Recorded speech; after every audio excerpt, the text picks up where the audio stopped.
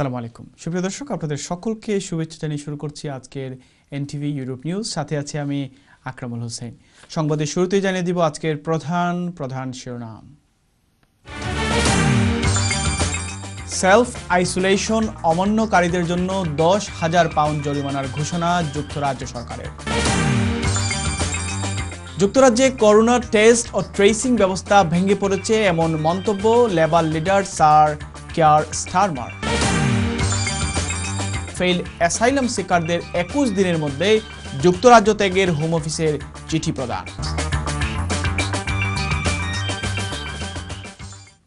শুনছিলেন শিরোনাম, এবার যাচ্ছি বিস্তারিত সংবাদে। নভেল করোনা ভাইরাসে আক্রান্ত হওয়া বা আক্রান্ত ব্যক্তির সংস্পর্শে যাওয়ার সেলফ আইসোলেশনের নির্দেশনা পেয়েও কেউ যদি তা অমান্য করে তাকে দশ হাজার পাউন্ড পর্যন্ত জরিমানা করবে যুক্তরাজ্য সরকার। তবে বেকার বা নিম্ন আয়ের ব্রিটিশদের জন্য ভিন্ন ব্যবস্থা করা হয়েছে। আগামী আটাইশে সেপ্টেম্বর থেকে নতুন আইন কার্যকর করা হচ্ছে। সরকারি স্বাস্থ্য সেবা বিভাগ যাদের সেলফ আইসোলেশনে থাকতে বলবে, তাদের কেউ তা অমান্য করলে এক হাজার থেকে দশ হাজার পাউন্ড পর্যন্ত জরিমানা করা হবে। এছাড়া সেলফ আইসোলেশনের নির্দেশনা প্রাপ্ত কোনো কর্মীকে জোর করে কাজে নিয়োজিত রাখলেও ওই প্রতিষ্ঠানের বিরুদ্ধে ব্যবস্থা নেওয়া হবে। নতুন আইনের ঘোষণা দিয়ে প্রধানমন্ত্রী বরিস জনসন বলেন করোনা ভাইরাস মোকাবেলার সবচেয়ে মোক্ষম উপায় হচ্ছে নিয়ম মেনে চলা। হঠাৎ করে যুক্তরাজ্যে করোনার সংক্রমণ বেড়ে যাওয়ায় এমন কড়াকড়ি আইন আনতে হলো বলে জানালেন বরিস। এদিকে পুরো দেশে লকডাউন দেওয়া হবে কিনা বিবিসির এমন প্রশ্নের জবাবে মিস্টার হ্যানকক বলেন, আমরা চাই না পুরোপুরি লকডাউন করা হোক, তবে পরিস্থিতি আরও খারাপের দিকে গেলে আমরা লকডাউন দিতে বাধ্য হব এবং আমরা প্রত্যেকে যদি নিয়ম অনুসরণ করে তবে লকডাউন এড়াতে পারি বলেও মন্তব্য করলেন তিনি। অন্যদিকে কঠোর বিধিনিষেধ আরোপের বিরোধিতায় গতকাল শনিবার আবারও লন্ডনের ট্রাফলগার স্কোয়ারে জড়ো হন হাজার হাজার প্রতিবাদকারী। মুখে মাস্ক পরা ছাড়াই অনেকে বিক্ষোভে যোগ দেন। পুলিশের সঙ্গে ধস্তাধস্তিতেও জড়িয়ে পড়েন অনেক বিক্ষোভকারী। এদিকে যুক্তরাজ্যে করোনা ভাইরাসের টেস্টিং এবং ট্রেসিং নিয়ে ব্যাপক সমালোচনার মুখে রয়েছে সরকার। এর সাথে যুক্ত হয়েছে বিরোধী দল লেবার পার্টির নেতা স্যার কেয়ার স্টারমারের সমালোচনা। বিবিসির অ্যান্ড্রুমার শোতে অংশ নিয়ে তিনি বলেন, করোনার টেস্টিং এবং ট্রেসিং সিস্টেম প্রায় ভেঙেই পড়েছে, আর এজন্য তিনি সরকারকে ক্ষমা চাওয়ার আহ্বান জানিয়েছেন। তিনি বলেন, সরকারের এখন প্রধান অগ্রাধিকার দেওয়া উচিত টেস্টিং সম্পর্কিত সমস্যা দূর করা। স্বাস্থ্যমন্ত্রী ম্যাট হ্যানকুক বলেছেন, করোনা পরীক্ষার ফলাফল দ্রুত সরবরাহ করার জন্য অতিরিক্ত অর্থ বরাদ্দ করা হয়েছে। এদিকে গত চব্বিশ ঘন্টায় যুক্তরাজ্যে করোনায় আক্রান্ত হয়েছেন তিন হাজার আটশত নিরানব্বই জন। গতকাল শনিবার ছিল চার হাজার চারশো বাইশ জন। অন্যদিকে গত চব্বিশ ঘন্টায় করোনায় মৃত্যুবরণ করলেন আঠারো জন। মোট মৃতের সংখ্যা দাঁড়িয়েছে একচল্লিশ হাজার সাতশত সাতাত্তর জনে। Whatever measure the government takes, we will support it. We did that with lockdown. We did that with local restrictions. Um, and I've said that whatever measures are taken. Um, but listen, if I was the Prime Minister, I would apologise for the fact that we're in this situation with testing. যুক্তরাজ্যে asylum প্রার্থী যাদের আবেদন home office প্রত্যাখ্যান করেছে এবং যাদের সব appeal প্রক্রিয়া শেষ হয়েছে তাদেরকে একুশ দিনের মধ্যে যুক্তরাজ্য ত্যাগের জন্য হোম অফিসের পক্ষ থেকে একটি চিঠি ইস্যু করা হয়েছে। করোনার কারণে হাজার হাজার এসাইলেম প্রার্থীকে অস্থায়ীভাবে বিভিন্ন আবাসিক হোটেলে থাকার ব্যবস্থা করা হয়েছে। জানা গেছে, মূলত হোটেলে অবস্থানকারীদের অপসারণ করতে এই চিঠি পাঠানো হয়েছে। সংবাদ মাধ্যম দ্য ইন্ডিপেন্ডেন্ট বরাত দিয়ে গার্ডিয়ান জানিয়েছে, হোম অফিসের চিঠিতে উল্লেখ করা হয়েছে, যাদের অ্যাসাইলেম আবেদনের ফলাফল নেতিবাচক এসেছে এবং সব আপিল প্রক্রিয়া শেষ হয়েছে, তাদেরকে একুশ দিনের মধ্যে যুক্তরাজ্য ত্যাগ করতে হবে এবং চিঠি পাওয়ার পর তাৎক্ষণিকভাবে এটি কার্যকর হবে। বিভিন্ন চ্যারিটি সংস্থা জানিয়েছে, সম্প্রতি ডিটেনশন সেন্টারে বন্দির সংখ্যা বৃদ্ধি পেয়েছে। স্পেনে করোনা ভাইরাসের প্রাদুর্ভাবে গত মার্চ থেকে হাজারের উপর প্রবাসী বাংলাদেশি আক্রান্তের পাশাপাশি পাঁচজনের মৃত্যু হয়েছে এবং বর্তমানে সাতজন দেশটির বিভিন্ন হাসপাতালের আইসিইউতে চিকিৎসাধীন অবস্থায় রয়েছেন। বৈশ্বিক এ মহামারী মোকাবেলায় অঞ্চল ভিত্তিক লকডাউন সহ বিভিন্ন পদক্ষেপ নিচ্ছে সরকার। বিস্তারিত থাকছে আমাদের স্পেন ব্যুরো প্রধান সেলিম আলমের একটি রিপোর্টে। কোভিড নাইন্টিনের দ্বিতীয় ধাপের আক্রমণে প্রতিদিন বেড়েই চলেছে আক্রান্ত আর মৃতের সংখ্যা। বিভিন্ন প্রদেশে লকডাউন সহ কঠোর পদক্ষেপ ইতিমধ্যেই নেওয়া হয়েছে। কমিউনিদাদ মাদ্রিদের তিনশোটি স্যানিটারি অঞ্চলের মধ্যে সাঁত্রিশটিতে আগামীকাল সোমবার থেকে লকডাউন ঘোষণা করেছে কমিউনিদাদ মাদ্রিদের গভর্নর। কমপক্ষে দু সপ্তাহব্যাপী চলমান এ জরুরি অবস্থায় থাকবে ফাঁসে দোষ বা দ্বিতীয় পর্যায়ের সীমাবদ্ধতা। জনস্বাস্থ্য অধিদপ্তরের তথ্য অনুসারে এই অঞ্চলগুলি ইতিমধ্যেই রেড জোন হিসাবে চিহ্নিত করা হয়েছিল। কমিউনিদাদ মাদ্রিদের গভর্নর ইসাবেল দাজ আইউসু গতকাল তার ভাষণে বলেন, এই স্যানিটারি অঞ্চলগুলির বাসিন্দারা শ্রম, শিক্ষা বা বিচারিক কারণে তাদের অঞ্চল থেকে কেবল বাহির হতে বা প্রবেশ করতে সক্ষম হবেন। তবে রেস্টুরেন্টগুলো রাত দশটার ভেতরে বন্ধ করতে এব- এবং ছয়জনের বেশি একত্রিত হওয়া যাবে না। প্রবাসী বাংলাদেশিদেরকে আরও বেশি সতর্কতা অবলম্বন এবং বিনা প্রয়োজনে বাইরে না আসার আহ্বান জানিয়েছেন বাংলাদেশ অ্যাসোসিয়েশন এবং সাংবাদিক নেতৃবৃন্দ। অনেক বাংলাদেশি ভাই বোনেরা স্পেনের বিভিন্ন হাসপাতালে চিকিৎসাধীন আছেন। আমি তাদের সুস্বাস্থ্য কামনা করছি। তারই পাশাপাশি আপনারা সামাজিক দূরত্ব বজায় রেখে চলুন এবং সকল সামাজিক, রাজনৈতিক সভা সমাবেশ থেকে বিরত থাকুন। যারা করোনা ভাইরাসের সময়ে যারা স্বাস্থ্যবিধি মানছেন না এবং করোনা ভাইরাস আক্রান্ত হলেও তারা অভাবে ঘুরে বেড়াচ্ছেন, যেখানে সংক্রমিত বেড়ে চলছে। তো আমি আমার বিশেষ অনুরোধ থাকবে যারা বাংলাদেশে আছেন তারা অবশ্যই স্বাস্থ্য মেনে চলবেন এবং আপনাকে আপনার করোনা ভাইরাস আক্রান্ত হলে আপনি অবশ্যই আইসোলেশন এবং চিকিৎসক পরামর্শ চলবেন। এবং তার আশেপাশের এলাকায় যারা আছেন তারা সরকারের বিধিনিষেধ মেনে চলুন সামাজিক দূরত্ব বজায় রাখুন এবং একে একে অপরকে বাঁচতে সহযোগিতা করুন। করোনা ভাইরাস সংক্রমণ রোধে মাদ্রিদে অঞ্চলভিত্তিক যে লকডাউনের ঘোষণা এসেছে সেটিকে আমার কাছে খুবই সুদূর প্রসারী মনে হয়েছে। এতে করে আমরা বাংলাদেশি কমিউনিটি সহ সকলেই উপকৃত হব। কারণ রেড জোনের লোকজন বাইরে যেতে পারবেন না বা বাইরের লোকজন রেড জোনে প্রবেশ করতে পারবেন না। এতে করে আক্রান্তের সংখ্যা নিচে নামিয়ে আনা সম্ভব। লকডাউন অঞ্চলগুলো হচ্ছে কারাবাঞ্চেল উসেরা বিজাবেরদে বিজা de Vallecas, Ciudad Línea, Fuenlabrada, Jumenas y Moraleja del Medio, Parla Getafe San Sebastian de los Reyes এবং আলকুবেন্দাসের বিভিন্ন অঞ্চল। বিধিনিষেধ মেনে চলতে স্থানীয় সরকার কঠোর পদক্ষেপ সহ সর্বনিম্ন ছয়শো ইউরো থেকে জরিমানার অভিধান রেখেছেন। Selim Alam, NTV Europe news. দর্শক, এবার জানিয়ে দিচ্ছি কমিউনিটি প্রসঙ্গ। মিনহাজুল কোরআন ইন্টারন্যাশনালের উদ্যোগে সংগঠনের লন্ডনস্থ সেন্টারে আন্তর্জাতিক খ্যাতিসম্পন্ন ইসলামী চিন্তাবিদ হজরত আল্লামা মুজাহিদ উদ্দিন চৌধুরী, দুবাগি সাহেব কিবলার ইসালে সোয়াব উপলক্ষে আলোচনা সভা, দোয়া ও মিলাদ মাহফিল অনুষ্ঠিত হয়েছে। মাহফিলে আল্লামা দুবাগি সাহেবের দিনী খেদমত নিয়ে স্মৃতিচারণ করে বক্তব্য রাখেন মিনহাজুল কোরআন ইন্টারন্যাশনালের ডিরেক্টর আল্লামা সাদিক কুরেশি। মহিউল ইসলাম মসজিদের খতিব আল্লামা শের আহমদ বারকাটি আল হিরা মসজিদের খতিব আল্লামা তারিক মাহমুদ আল করম মসজিদের খতিব মুফতি আব্দুর রসুল প্রমুখ উপস্থিত ছিলেন। বক্তারা বলেন, আল্লামা দুবাগি সাহেবের রুহানি খেদমত শুধু বাংলাদেশিদের মধ্যে সীমাবদ্ধ ছিল না, বরং সকল দেশের উলামায়ে কেরামের শ্রদ্ধাভাজন ছিলেন তিনি। অনুষ্ঠানে দোয়া পরিচালনা করেন হরজত দুবাগি সাহেবের বড় সাহেবজাদা আল্লামা জিল্লুর রহমান চৌধুরী দুবাগি। দর্শক, এবার জানিয়ে দেব বাংলাদেশ প্রসঙ্গ। শীতে করোনা ভাইরাসের প্রকোপ বাড়তে পারে এমন আশঙ্কা প্রকাশ করে প্রধানমন্ত্রী শেখ হাসিনা বলেছেন, পরিস্থিতি নিয়ন্ত্রণে সব ধরনের ব্যবস্থা নিয়ে রেখেছে সরকার।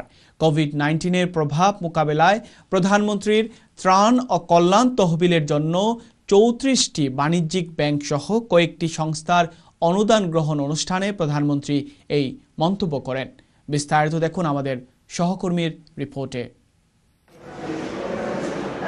করোনা ভাইরাসের প্রকোপ মোকাবেলায় সরকারকে সহায়তার অংশ হিসেবে বাংলাদেশ অ্যাসোসিয়েশন অব ব্যাংকসের পক্ষ থেকে একশো চৌষট্টি কোটি এবং বিভিন্ন প্রতিষ্ঠানের পক্ষ থেকে এক কোটি ষাট লাখ ও এক লাখ সার্জিক্যাল মাস্ক অনুদান দেওয়া হয় প্রধানমন্ত্রী ত্রাণ ও কল্যাণ তহবিলে। সকালে গণভবন থেকে ভিডিও কনফারেন্সের মাধ্যমে এই অনুদান গ্রহণ করেন প্রধানমন্ত্রী শেখ হাসিনা। এই সময় প্রধানমন্ত্রী বলেন করোনা ভাইরাস মোকাবেলায় সরকারের পাশাপাশি সব প্রতিষ্ঠান আন্তরিকতার সাথে কাজ করছে। শীতে ভাইরাসটির প্রকোপ বাড়তে পারে এই আশঙ্কায় আগে থেকে প্রস্তুতি নেওয়ার কথা জানান প্রধানমন্ত্রী। করোনা ভাইরাস এটা মোকাবেলা করার জন্য আমরা যথেষ্ট ব্যবস্থা নিচ্ছি, আর আমরা যাতে ব্যবসা বাণিজ্য আপনারা চালায় যেতে পারেন, তার জন্য যা যা করণীয় সে ব্যবস্থা আমরা কিন্তু নিয়েছি। ইতিমধ্যে বিভিন্ন প্রণোদনা দিয়েছি। এই প্রণোদনা যার ফলে আমি মনে করি আমাদের দেশের ব্যবসা বাণিজ্যগুলি সচল থাকা সম্ভব হচ্ছে। আর এবারে করোনা ভাইরাসে দেখা গেছে যে আমাদের সকলেই খুব আন্তরিকতার সাথে কাজ করেছে। সবাই আমি কারও বাদ দিতে পারব না। তো সেই জন্যই হয়তো এটা আমরা মোকাবেলা করতে সক্ষম হয়েছে তবে সামনে শীত আর একটু হয়তো খারাপের দিকে যেতে পারে তবুও আমাদের এখন থেকে প্রস্তুতি থাকতে হবে। ব্যাংকিং সেক্টরের উন্নয়নে সরকার সবসময় সচেষ্ট রয়েছে উল্লেখ করে প্রধানমন্ত্রী বলেন। যুক্তিসঙ্গত দাবিগুলো বিবেচনা করে সহযোগিতা করবে সরকার। ব্যাংকগুলি যাতে ভালোভাবে চলে আমরা সেটাই চাই। সেই ক্ষেত্রে অবশ্যই ব্যাংকের আইন বা যা কিছু আমরা করি, আপনারা যখন যে দাবি টাবি আনেন, যেটা যুক্তিসঙ্গত, সেগুলো আমরা সবসময় বিবেচনা করি, দেখি। আজকেও আমাদের ব্যাবের চেয়ারম্যান নজরুল সাহেব যে কথাগুলি বলেছেন, আমি এটা দেখব, যেখানে কি যদি সমস্যা থাকে, অবশ্যই সমস্যা, যাতে না হয় সেটা আমরা অবশ্যই বিবেচনা করব। তো আপনাদের কাছে আমাদের অনুরোধ থাকবে যে ব্যাংকটা যেন ভালোভাবে চলে, সেদিকে আপনারা বিশেষভাবে দৃষ্টি দেবেন না। দেশের যে কোনো দুঃসময়ে প্রধানমন্ত্রী ত্রাণ ও কল্যাণ তহবিলে অনুদান দিয়ে সহযোগিতা করার জন্য সব প্রতিষ্ঠানের প্রশংসা করেন প্রধানমন্ত্রী। Fahad Mohammad NTV news Dhaka. দর্শক এবার জানিয়ে দেব খেলার খবর। বাংলাদেশের শ্রীলঙ্কা সফর নিয়ে অনিশ্চয়তা থাকলেও জৈব বলয় বা বায়ু সিকিউর যুগে প্রবেশ করেছে বাংলাদেশ দল। সাতাশ ক্রিকেটারের জায়গায় ষোলো জন আজ প্রথমবার অনুশীলন করেছেন মিরপুরে। বিস্তারিত দেখুন আমাদের সহকর্মীর রিপোর্টে। হঠাৎ করে মিরপুরের বাংলাদেশের ক্রিকেটারদের দেখলে মনে হতে পারে কোনো ক্লাব দলের জার্সি পরে আছেন তারা। এখনও পর্যন্ত স্পন্সর নিশ্চিত হয়নি শ্রীলঙ্কা সিরিজের মতো। তারপরও এই দিনের অনুশীলনের আলাদা গুরুত্ব আছে। মুমিনুলের দল এদিনই ঢুকে পড়ল করোনার জন্য বায়োসিকিউর বাবল বা পরিবেশে। এখানেই তামিম মুশফিকের অনুশীলন সিরিজ হওয়া না হওয়ার মেঘটা এখনও না কাটলেও দল হয়ে অনুশীলন প্রায় ছ মাস পর করায় উচ্ছ্বসিত মাহমুদুল্লাহ। টিমমেটদের সাথে এখন কাজ করছি। এখন গ্রুপ ওয়াইজ কাজ করা হচ্ছে। টিমমেটরাও বেশ অনেক উৎফুল্ল এবং আমিও বেশ উৎফুল্ল। কারণ দিন শেষে এটা একটা টিম গেম এবং টিমের সবার সাথে মিলে যদি ট্রেনিংটা এনজয় করা যায় ওটা আরও বেশি ইউজফুল হয় নিজের জন্য এবং টিমমেটদের জন্য। ষোলো জনের দলটা অনুশীলন করলেও প্রাথমিক দলের সংখ্যা সাতাশ জন। বাকি এগারো জনের দু ক্রিকেটার করোনা ফলাফল নেগেটিভ হলেও আরও নিশ্চিত হতে চায় বিসিবি। বাইশ তারিখে পরবর্তী কোভিড পরীক্ষার দিকে নজর তাই বোর্ডের। ওই দুই ক্রিকেটারের সঙ্গে যারা ছিলেন, তাদের তাই রাখা হয়েছে আলাদা জায়গায়। এসব শঙ্কার বিষয়গুলোকে বাদ দিলে এদিন ক্রিকেটে ফেরার মুডেই ছিলেন ক্রিকেটাররা। হোটেলে উঠেছেন সেই সকালে আলাদাভাবে। অনুশীলন শেষেও হোটেলে ঢুকেছেন কয়েকজন ক্রিকেটার। আম, আলহামদুলিল্লাহ। অনেকদিন পর আমরা মিরপুরে as a group practice start করলাম। খুবই ভালো লাগছে। যতটুকু বাসায় আমরা করতে পেরেছি রানিং বা জিম ওয়ার্ক বাট স্কিলের কাজগুলো করতে পারছিলাম না। বাট এখন ওই জিনিসগুলো আমরা স্টার্ট করেছি। বেশ অনেক দিন ধরে ইন্ডিভিজুয়াল সেশন হলো। এখন আমরা গ্রুপ ওয়াইজ ট্রেনিং স্টার্ট করেছি। তো ইটস বিন গুড নাও নিজেদের কাজটা এগিয়ে রাখছে বিসিবি বাকিটা এখন নির্ভর করছে আগামী দিন শ্রীলঙ্কা কি উত্তর পাঠায় তার উপর। করোনা বদলে দিয়েছে পৃথিবীর অনেক চিরচেনা পরিবেশ যার ব্যতিক্রম নয় ক্রিকেটও। এই প্রথম বাংলাদেশ তাদের জৈব বলয় বা বায়ুবাবলের মধ্যে অনুশীলন শুরু করেছে। কিন্তু যে সিরিজটাকে ঘিরে এত আয়োজন সেই শ্রীলঙ্কায় বাংলাদেশের শেষ পর্যন্ত যা হবে কিনা তা নিয়ে অপেক্ষায় থাকতে হচ্ছে আরও কিছুটা সময়। Barshan Kabir, NTV news, Mirpur Sher Bangla stadium, Dhaka. দর্শক, সময় হলো একটি বিজ্ঞাপন বিরতির। ফিরে এসে থাকছে সিলেট অফিস থেকে পাঠানো তথ্য, ছবি নিয়ে সংবাদ প্রতিদিনের সিলেট। সাঁতার, সাইক্লিং ও দৌড়ে অংশগ্রহণই হচ্ছে ট্রায়াথলন। আর শুধুমাত্র সাইক্লিং ও দৌড়ে অংশ নেওয়ার নামেই ডুয়াথলন।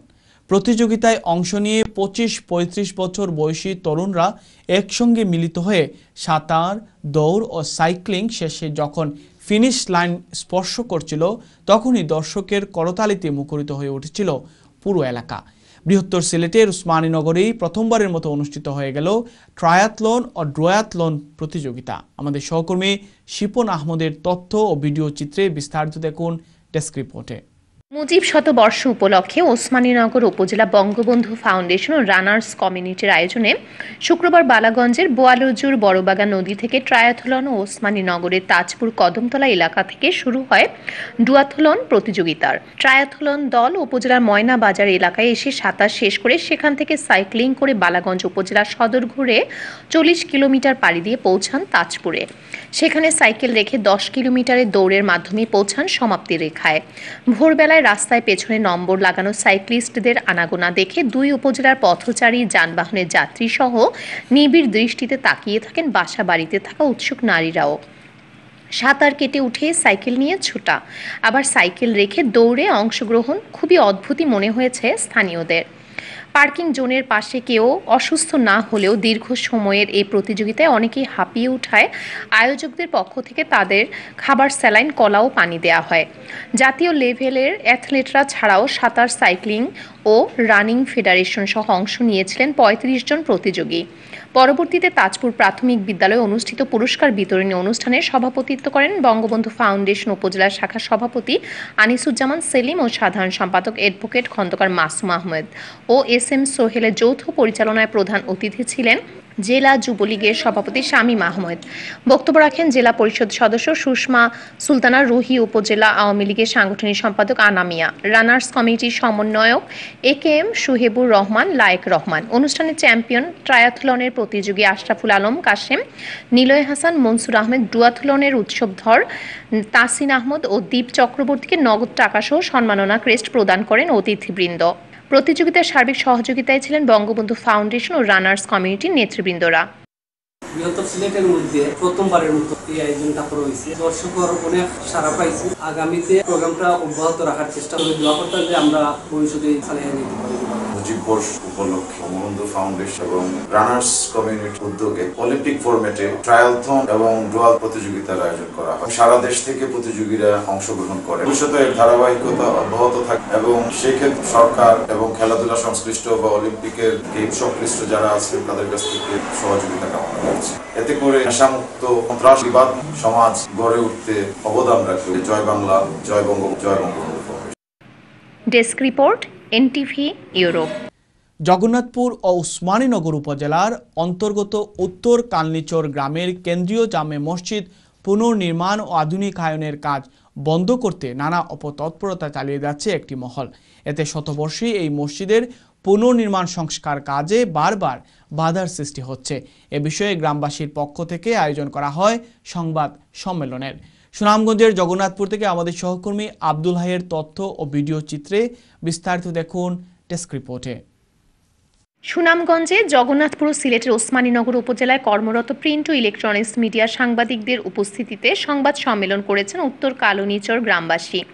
শুক্রবার বেলা দুইটায় উত্তর কালুনিচর গ্রামে আয়োজিত সংবাদ সম্মেলনে গ্রামবাসীর পক্ষে লিখিত বক্তব্যে সমাজসেবক মোবারক হোসেন মেন্দি বলেন, দুই উপজেলার অন্তর্গত উত্তর কালুনিচর গ্রামে রয়েছে একটি শতবর্ষী মসজিদ। মসজিদটি পুরাতন হয় গ্রামবাসীরা সম্মিলিতভাবে উদ্যোগ নেন পুনর্নির্মাণের। দেড় বছর আগে মসজিদটি নির্মাণের কাজ শুরু হলে কমিটিকে কেন্দ্র করে একটি মহল সৃষ্টি করে যাচ্ছে বিঘ্নতার। ধারাবাহিক নানা চক্রান্ত চালিয়ে ব্যর্থ হয়ে সম্প্রতি মসজিদের ইমামকে নিয়ে নোংরা অপপ্রচার চালানো হচ্ছে। এমন হীন কর্মকাণ্ডে গ্রামের সুনাম নষ্ট হচ্ছে। মসজিদের নির্মাণ কাজ শুরুর পর থেকে সংশ্লিষ্টদের নানাভাবে হয়রানির অপচেষ্টার পাশাপাশি কারণে অকারণে গ্রামের অসহায় মানুষদের চালিয়ে যাচ্ছে নির্যাতন। সংবাদ সম্মেলনে অপপ্রচারকারীদের বিরুদ্ধে তদন্তপূর্বক ব্যবস্থা গ্রহণের জন্য প্রশাসনের কাছে জোর দাবি জানিয়েছেন উত্তর কালুনিচর গ্রামবাসী। সংবাদ সম্মেলনে আশারকান্দি ইউনিয়ন পরিষদের ছয় নং ওয়ার্ড সদস্য শওকত আলী, মসজিদ কমিটির সদস্য ইস্কন্দর আলী, একরামুদ্দিন একলাসুর রহমান, যুবলীগ নেতা দুলাল মিয়া ওসমানীনগর উপজেলা স্বেচ্ছাসেবক লীগের সদস্য জুনাইদ আহমদ, আমিনুল ইসলাম মুহিব, মানিক মিয়া, লুৎফর রহমান ছাড়াও উত্তর কালুনিচর গ্রামের প্রায় দুই শতাধিক ব্যক্তিবর্গ উপস্থিত ছিলেন। মসজিদ পুনর্নির্মাণে বাধা এবং নিয়মের বিরুদ্ধে আনিত অভিযোগ, মিথ্যা এবং বানোয়াট। গ্রামবাসী এর কোনো সত্যতা প্রকাশ পায়নি। আমি গ্রামবাসীর পক্ষ থেকে এর তীব্র নিন্দা, প্রতিবাদ জানাচ্ছি। উত্তরকানেশ্বর কেন্দ্রীয় জামি মসজিদর ইমাম বিরুদ্ধে আনিত অভিযোগ। আমরা মুফতি সাহেবের কাছে গিয়েও মিথ্যা প্রমাণ হয়েছে এবং জগন্নাথপুর এবং উসমানীনগর থানা পরিদর্শন কইরা তারা ইনকোয়ারি করার বাদেও এটা মিথ্যা প্রমাণিত হয়েছে যে ছোট মহিলা লইয়া যে কেলেঙ্কারি হয়েছে আর যারা এটা বানাউটি করছে তারা বিরুদ্ধে আমরা দৃষ্টান্ত শাস্তি চাই। কেন্দ্রীয় জামে মসজিদ নিয়ে কেউ যদি এই ধরনের সিনেমিনি খেলে বা মসজিদের এই উন্নয়ন কাজের বিঘ্ন ঘটাইতে চায় আমরা গ্রামবাসী শিক্ষার লাগে আমরা খুবই সজাগ। যারা মসজিদের উন্নয়ন খামর মাঝে বিঘ্ন ঘটাইতে চান তারারে আইনের আওতায় আনার লাগে আমরা অনুরোধ জানাই। Desk report NTV Europe. সিলেটের দক্ষিণ সুরমার রেঙ্গা আশুগঞ্জ মাধ্যমিক বিদ্যালয়ের নতুন ভবনের ভিত্তিপ্রস্তর স্থাপন করা হয়েছে। ভিত্তিপ্রস্তর স্থাপন উপলক্ষে আলোচনা সভা দোয়া মাহফিল অনুষ্ঠিত হয়। দক্ষিণ সুরমা থেকে আমাদের সহকর্মী আশরাফুল ইসলাম ইমরান জানান, ভিত্তিপ্রস্তর স্থাপন উপলক্ষে এক আলোচনা সভা ও দোয়া মাহফিল গত শনিবার বিকেলে বিদ্যালয়ের হল রুমে অনুষ্ঠিত হয়। বিদ্যালয় পরিচালনা কমিটির সভাপতি এম এফ ইসলাম ফয়েজের সভাপতিত্বে এবং বিদ্যালয়ের প্রধান শিক্ষক আশরাফ আলী ও মাস্টার হাবিবুর রহমানের যৌথ পরিচালনায় অনুষ্ঠানে প্রধান অতিথির বক্তব্য রাখেন দক্ষিণ সুরমা উপজেলা পরিষদের চেয়ারম্যান মোহাম্মদ আবু জাহিদ। বিশেষ অতিথির বক্তব্য রাখেন দাউদপুর ইউনিয়ন পরিষদের chairman H M Khalil, union বিএনপির সাধারণ সম্পাদক শামসুর রহমান শামীম, বৃহত্তর সিলেট গণদাবি পরিষদ দক্ষিণ সুরমা উপজেলা শাখার সভাপতি মিজানুর রহমান, বাংলাদেশ প্রাথমিক বিদ্যালয় সহকারী শিক্ষক সমিতি দক্ষিণ সুরমা উপজেলা শাখার সভাপতি নাসির মাহমুদ, শ্রমিক নেতা নিয়াজ খান, সমাজসেবী দেওয়ান আব্দুল নূর রাউতকান্দি উন্নয়ন সংস্থার সাংগঠনিক সম্পাদক শাহেদুল ইসলাম বিদ্যালয়ের শিক্ষক মাজিদুল ইসলাম মাজেদের শুভেচ্ছা বক্তব্যের মাধ্যমে সূচিত অনুষ্ঠানে বক্তব্য রাখেন ফখরুল আলম, আব্দুল আহাদ, আব্দুল বাসিদ, ফখর উদ্দিন, মতিউর রহমান সহ আরও অনেকেই। আলোচনা সভা শেষে বিদ্যালয়ের নতুন ভবনের ভিত্তিপ্রস্তর স্থাপন করেন অনুষ্ঠানের প্রধান অতিথি ও অন্যান্য অতিথিবৃন্দ। অনুষ্ঠানের শেষে দোয়া পরিচালনা করেন রাউতকান্দি জামে মসজিদের ইমাম ও খতিব মাওলানা শিব্বির আহমদ। দর্শক, সংবাদ শেষ করব। তার আগে আরেকবার জানিয়ে দিচ্ছি আজকের প্রধান প্রধান শিরোনাম। সেলফ আইসোলেশন অমান্যকারীদের জন্য দশ হাজার পাউন্ড জরিমানার ঘোষণা যুক্তরাজ্য সরকারের। যুক্তরাজ্যে করোনা টেস্ট ও ট্রেসিং ব্যবস্থা ভেঙে পড়েছে এমন মন্তব্য Labour leader sir Keir Starmer. Fail asylum সিকারদের একুশ দিনের মধ্যে যুক্তরাজ্য ত্যাগের হোম অফিসের চিঠি প্রদান।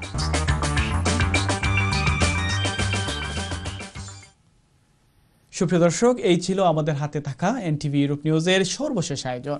এই খবরের ভিডিও সহ আপডেট জানতে ভিজিট করুন Europe NTV online W dot Europe dot com সাথে থাকার জন্য সবাইকে ধন্যবাদ। আল্লাহ হাফেজ।